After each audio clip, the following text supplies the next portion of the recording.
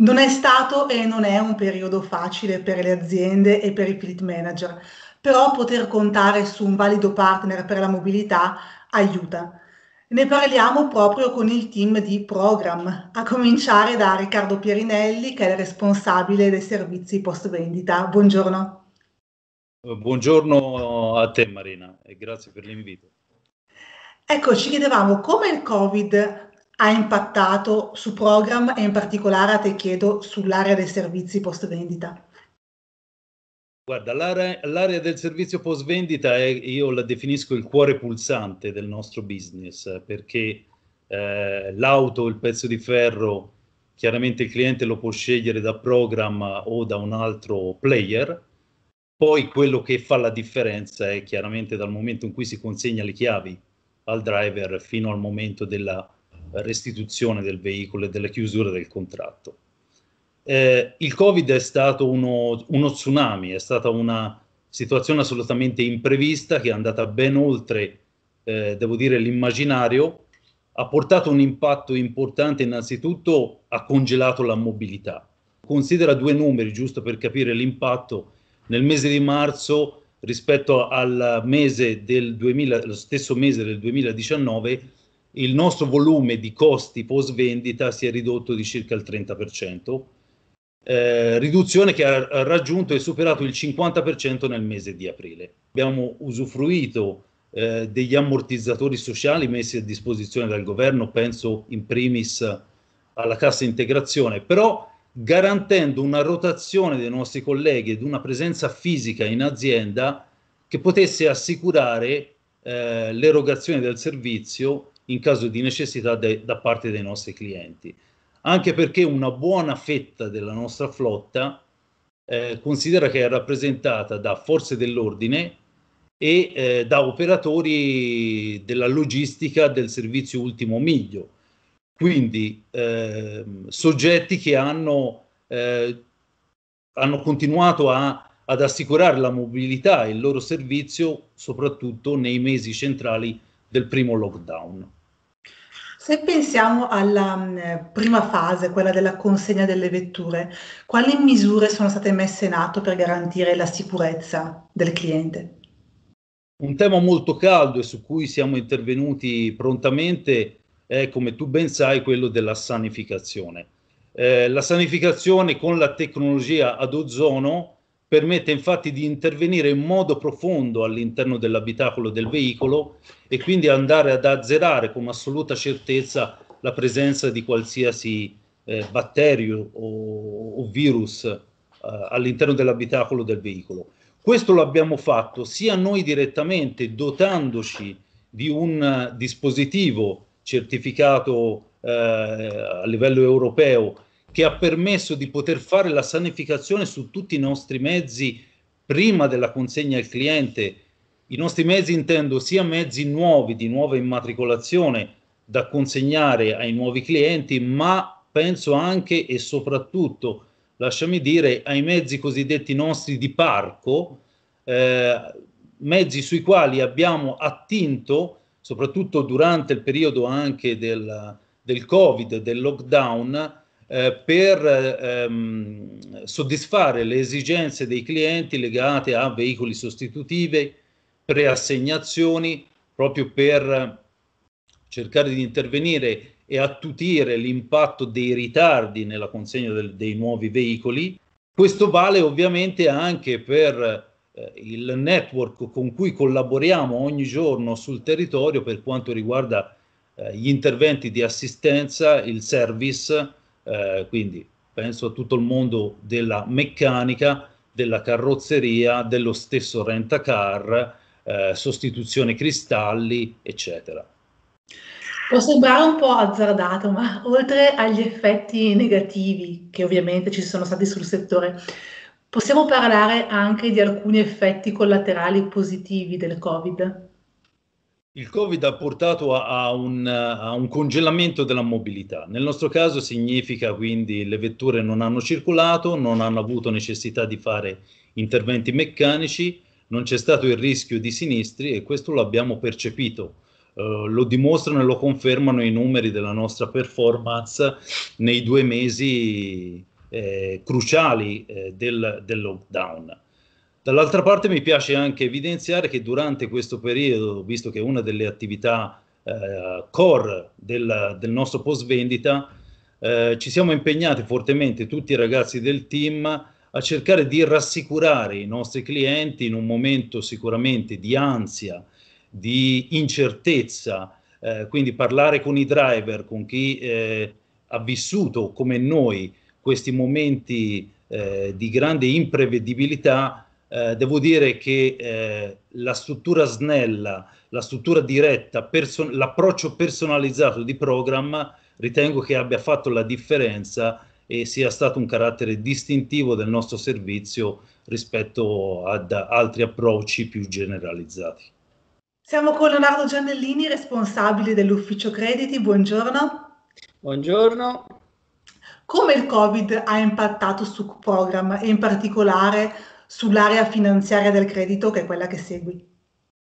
Sì, beh, diciamo che eh, come presumo diverse società, eh, anche nel, nello specifico proprio del noleggio, eh, i mesi di marzo e aprile e maggio sono stati eh, abbastanza impegnativi, se non per dire eh, tra- tragici, ma insomma, eh, quindi hanno impattato fortemente in termini di insoluti, di richieste eh, di, so- di, supporto, quindi come sospensioni, rateizzazioni, ehm, le più svariate richieste per venire incontro diciamo, a questo problema della mancanza di, di liquidità. Noi come program eh, quindi abbiamo adottato una serie di misure personalizzate, quindi non generiche per tutti, eh, che andavano magari dalla dilazione di pagamento, dalla sospensione nel caso in cui si poteva fermare il parco eh, auto o eh, dalla riduzione diciamo per un periodo limitato di tempo del canone di, di noleggio. Eh, questo diciamo un po' è, no, è stato perché diciamo, è, è, l'abbiamo applicato solo per quei periodi difficili di eh, massima espansione della pandemia, quindi del Covid a eh, marzo, aprile e, e, maggio. Questa è un po' la strategia adottata. Ecco. Nel 2021, nel prossimo anno, come verrà attuata la vostra valutazione dell'affidabilità creditizia nei confronti del cliente?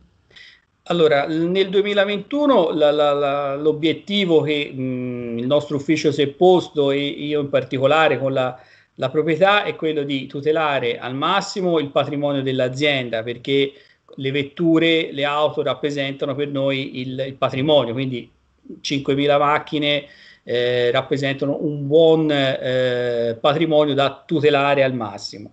Dall'altro dobbiamo anche eh, venire incontro alle esigenze dei nostri eh, clienti e incrementare questo, questo, parco auto. Per cui le strategie saranno quelle di eh, valutare eh, settore merceologico per settore merceologico, perché non tutti sono stati impattati alla stessa maniera dal Covid-19. Eh, quindi sicuramente un'analisi dei bilanci del 2020, eh, anche sapendo benissimo che non saranno eh, idilliaci rispetto a, agli anni precedenti, associata ad una eh, verifica diciamo, di quella che è la storicità delle, dei bilanci degli anni precedenti, ci consentirà di avere un'idea di affidabilità o meno del, del cliente. Quindi eh, massima attenzione, massima analisi del settore merceologico e analisi di bilancio. Naturalmente ogni situazione, ogni eh, azienda verrà valutata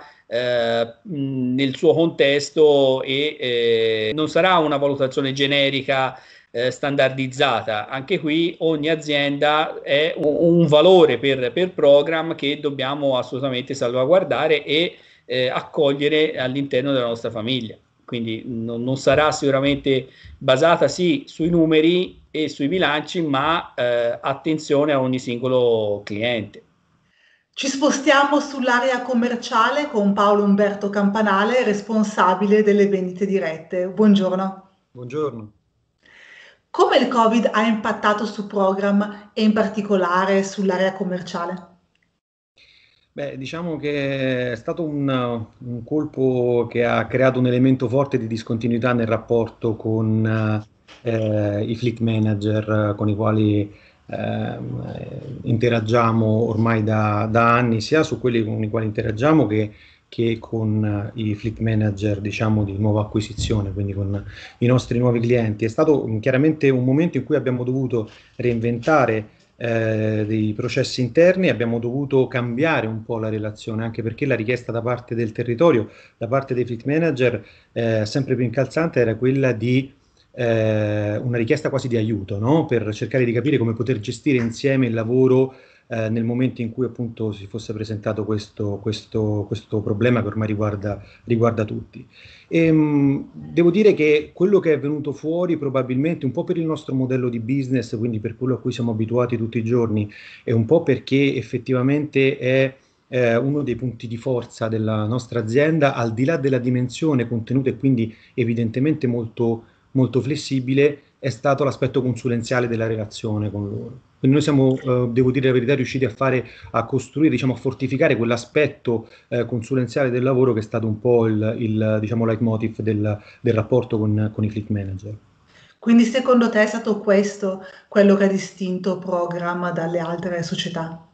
Beh, diciamo è stato un duplice sforzo. Uno nel cercare di cambiare all'interno, quindi a modificare le nostre eh, azioni per poter essere pronti a, a, subire quelli che erano i cambiamenti dati dal, eh, dalle variabili ambientali che si stavano presentando e sicuramente quello del eh, rimanere eh, molto vicini ai, ai, fleet manager, dando queste, diciamo, una, una, eh, un consiglio su quello che poteva, che è tuttora ehm, eh, il modo secondo noi eh, di eh, gestire eh, la flotta e il parco in condizioni ambientali così difficili.